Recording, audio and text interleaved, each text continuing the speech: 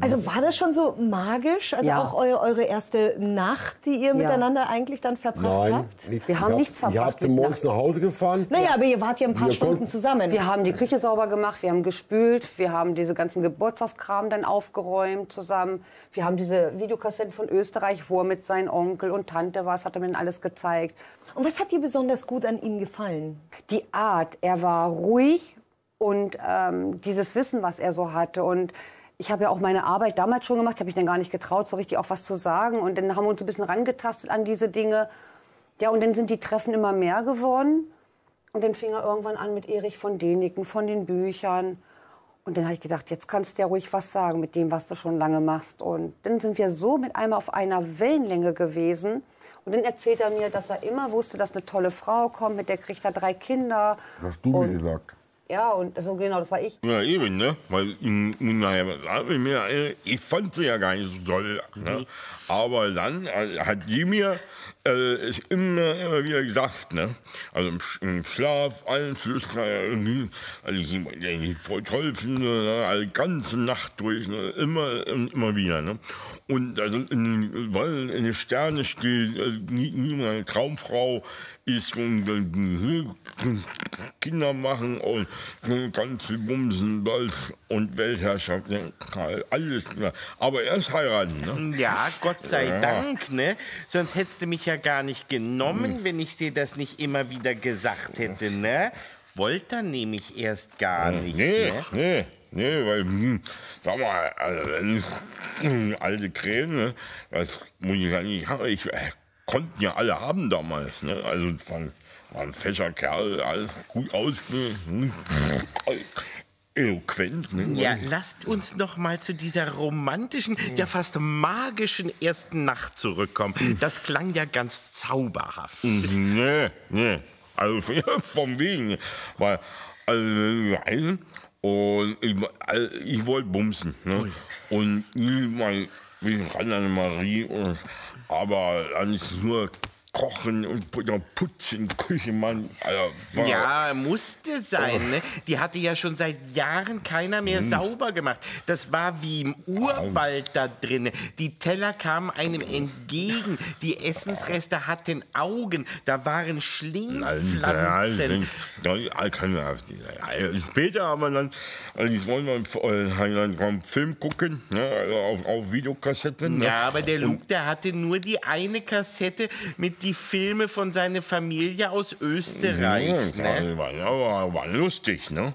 Also, weil mit, mit äh, Opa Adolf, ja, so ein, schöner Schäferhund, der halt auch, und äh, äh, Arnold, ne, und der Onkel, ja, da, wo ich im, im Keller äh, gewohnt habe damals, ne? Äh, also musste ganz, ganz lange mit äh, äh, den von denigen äh, zusammen auch. Und Gut, also ich, was äh, dir an Luke, unserem Thomas Magnum von Astro TV, so gut gefallen hat, das kann sich ja wohl jede Frau vorstellen. Aber was hat dir, Luke, denn an Lorelei gleich so gut gefallen? Och, naja, also, das weiß, weiß ich gar nicht, weil äh, das antwortet sie ja eigentlich immer für mich. Ja, ich weiß ja auch besser, was du willst, als wie du, ne? Die neue Handtasche zum Beispiel und die schöne Kette, die Schuhe mit die hohen Hacken, ne? Hättest du nicht gewusst, dass du mir die schenken willst, wenn ich dir nicht gesagt gut, hätte, ja, ne? st- Das stimmt auch wieder, ne? Weil, das, äh, also, sag mal, könnte könnt ich mal äh, ganz kurz äh, auf Toilette, weil ich muss mal. Na, das wüsste ich aber, ne? Du musst erst, wenn ich dir das sage, verstanden? Äh, Da ist aber auch schon so eine kleine gelbe Pfütze unter Ja, aber doch nur, weil er sich so freut, der Luke, Ja, ne? kann sein, wenn, wenn sie das sagt, ne? Gut, aber äh, wenn also, einen kleinen Schnaps hätte ich dann jetzt doch schon gern. Ne? Weil das ist alles von äh, das Einzige, was ich noch selber weiß. Ne? Weil äh, ohne hätte es ja alles auch nicht aus. Ne? Ich traf einmal ein Mädchen, da ist mir was passiert. Eigentlich lief alles super, sie war auch schön rank und schlank, wir waren grad so beim Vorspiel. Es tönt leis, Kuschelrock.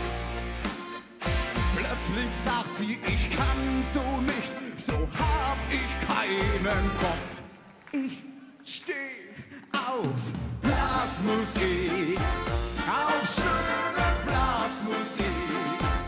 Bla bla bla Blasmusik, weil's nichts Geiles gibt.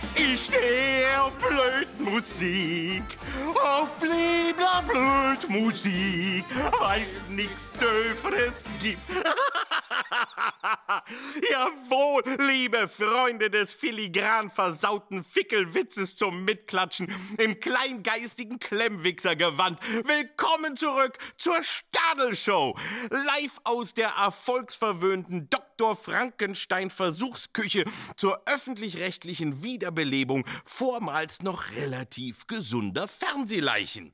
Wo sich ein sexuell frustrierter ARD-Redakteur bei der monatlichen Mittagspausenmasturbation anscheinend gedacht hat, dass es doch ganz schön frivol pikant sein dürfte, wenn man so ein paar onanie erfahrene Ohrfeigenvisagen ein zotiges Liedchen grölen ließe, in dem ein blutjunges, sauber rasiertes Mädchen ihre Vorliebe für Fellatio gesteht. Das muss doch einfach Stimmung in die muffige Seniorensause bringen, oder? Oder nicht? Ganz ehrlich, ich hätte nie gedacht, dass ich, versauter alter Sack, mich eines Tages für den angestaubten Spießerstadel schämen müsste. Doch diese drei debilen Söhne der Wanderhure haben es geschafft. Noch keine Haare am Dudelsack, aber perverse Pimperlieder singen wie Mickey Krause nach dem Viagra-Einlauf. Und sollten Sie übrigens gerade so ein seltsam ratterndes Geräusch hören, keine Angst, das sind nur Borg beim Brechdurchfall und der Moik, der in seinem Grab rotiert. Du hast schon, du hast schon so viel gesehen, warst schon überall und bist aufgetreten. Schau jetzt auf unsere Deko und sag, was du davon hältst.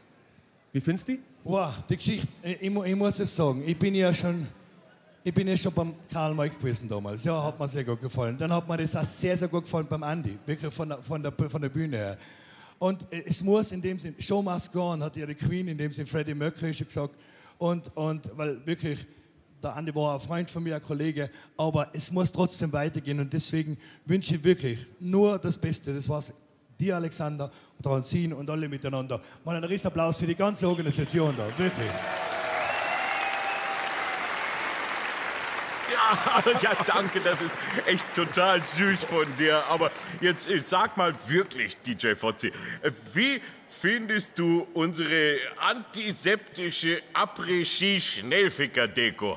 Jetzt auf einer Skala von 99 bis 100. Ja. Boah, naja, also weißt du, ich bin ja, ich bin ja schon überall gewesen. Ja. Also äh, beim Moik, äh, mit seiner Mutter zum Mountainmuseum im Meißenheim, äh, beim Anti Borg zum Analbleaching in der Arschbegegnungsstätte vom BR. Ich sag's mal, ey, auch Salzgitter hat seine schönen Seiten, wenn man nicht hinschaut. Ja, ich, ich muss ganz ehrlich sagen, also ich, ich, ich, ich habe die Frage vergessen. Was war's jetzt? Ich, Ja, ja, ja, ja, das kann passieren bei so komplexen Gesprächen. Wie du unsere mega geile neue Deko findest, wollte ich wissen. hä? Also ich meine, super oder spitze? Ganz ehrlich, ganz ehrlich. hä?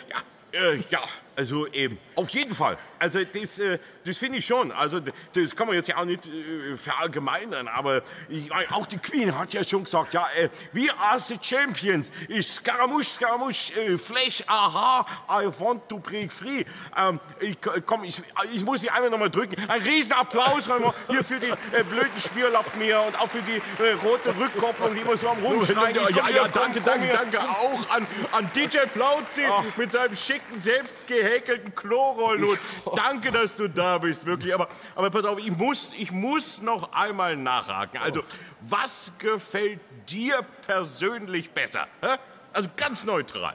Das Design von dem doofen alten abgesetzten Scheißhaus Stadel oder das fesche Fresh-Design von der coolen neuen Stadel-Show, in die du bestimmt noch mal eingeladen werden möchtest. Ne? Also jetzt sag's ganz offen, ne? ohne Druck. Äh, Deine ehrliche Meinung. Komm. Naja, also ich muss, ich, ich würde, also ich, ich kenne ja beide noch. Also ist immer, äh, ja, meine Fresse, bist du jetzt wirklich so blöd, wie du ausschaust, Mensch, du abgelutschtes Laberzäpfchen.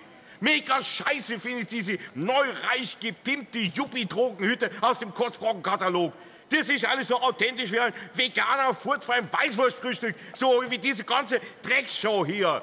Wir kochen gleich die Eier hart unter der Mütze. Also, so rege ich mich auf über diese aus Speed gerührten Stadelsmoothie. Hast mich, Mensch. Das kann doch nicht wahr sein. Äh, ähm, äh, äh, äh, ja. äh, äh, Nochmal knuddeln? Hä?